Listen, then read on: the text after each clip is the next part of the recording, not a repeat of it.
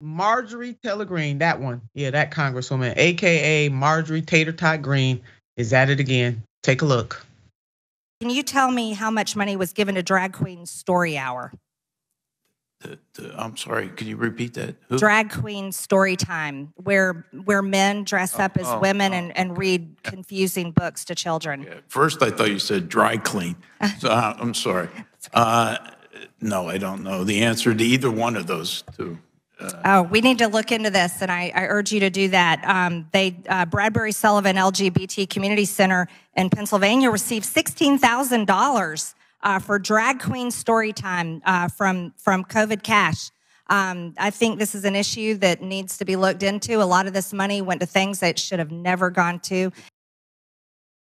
Good God. I mean, some things that should have never happened is this woman in Congress, but here we are.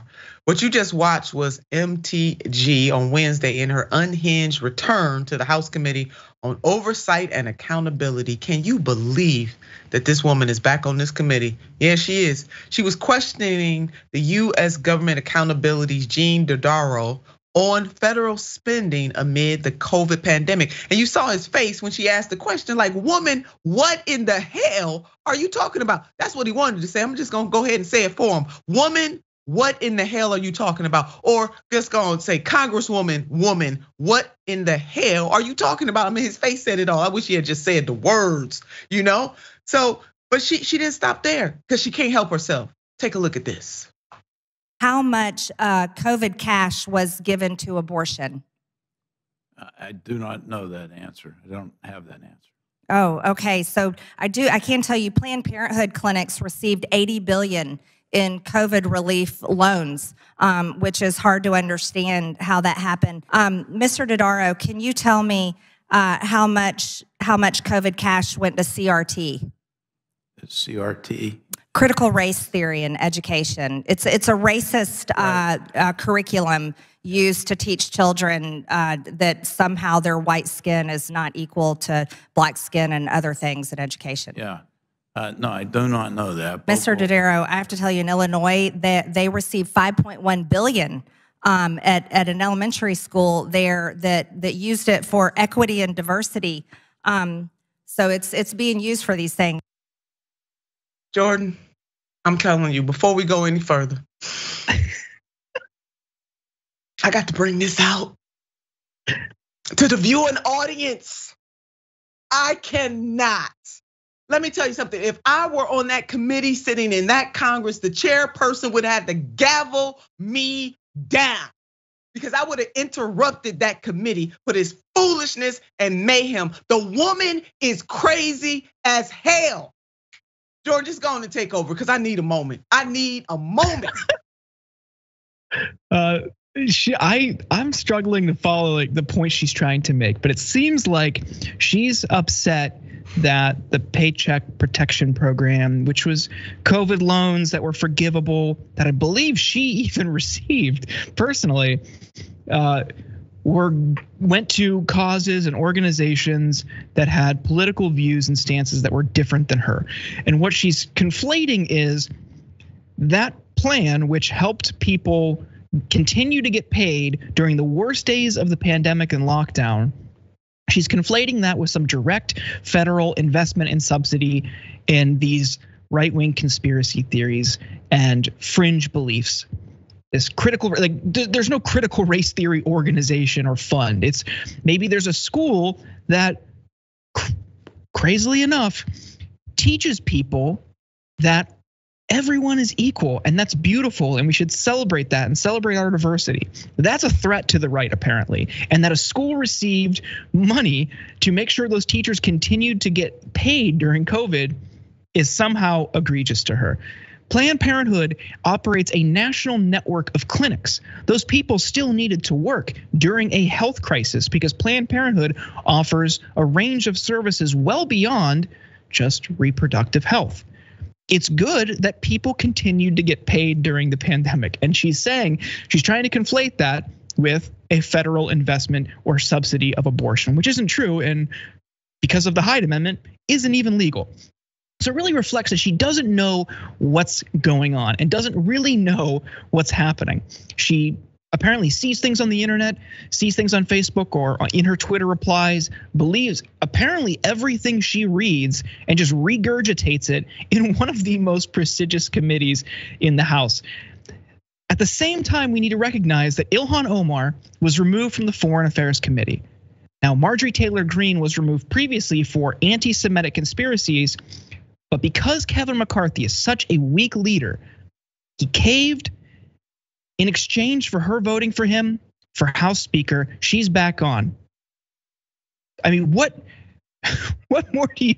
What more do you need to see that that was clearly a quid pro quo? We he caved like, and.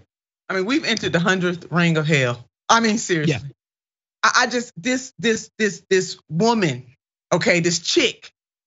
I just I just don't get. She don't even know what the hell CRT is. You know, and, and yeah. you're right. I mean, conflating all kinds of stuff, but people are gobbling this stuff up because they believe this woman, she's on from another planet.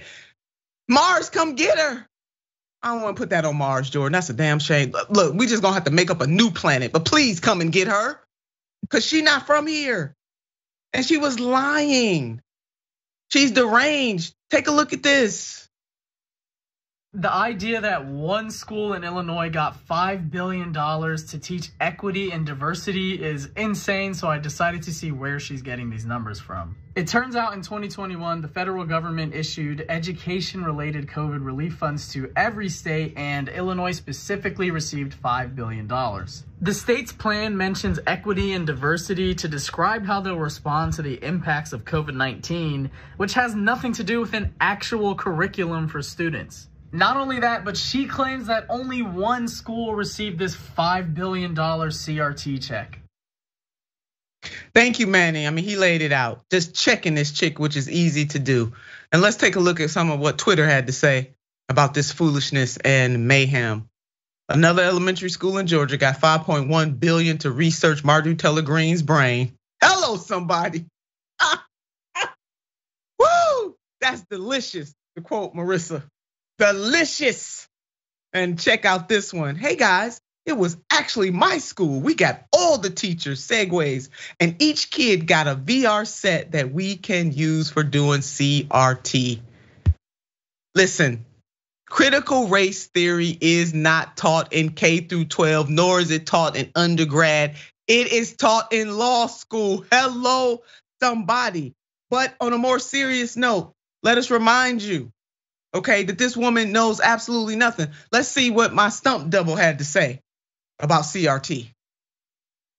For years, for decades, for generations in this country, black children have had to carry inferiority on their backs, in their minds, in their hearts. This country, going back to what John said, the good, the bad, and the ugly. Well, let me tell you a little bit about the bad and the ugly. Chattel slavery was bad and ugly. And to be able to teach African American history in a holistic way, which is America's history. This country has some good, it has some bad, and it has some ugly. Critical race theory is taught in law school. It is not taught in K through 12. Hello, somebody. Now, can we underline that? Put it in a message in a bottle with an exclamation point and bold it, bold it, bold it, bold it. Look, y'all need to go get your cousins and let them know they up in arms over CRT, something that is not taught in K through 12 education. More up in arms about that than they are about the fact that the child tax credit is gone. They more up in arms about that than they are that the Congress and this president in the last uh, Congress, the 117th, took away the rights of rail workers to strike. They more up in arms about that than the fact that they didn't pass the PRO Act or the John Lewis Voting Rights Act or the George Floyd Policing Act, or that people can't afford egg or milk or butter or gas or rent. Jesus, Mary and Joseph. I am definitely calling on Black Jesus on this one. Yes, I am, baby. When it when it's real deep, only Black Jesus will do. I said it. It is something wrong with these people. Do you hear me? Something wrong with them in America, we must stop being complicit in our own demise. Lord have mercy on my soul.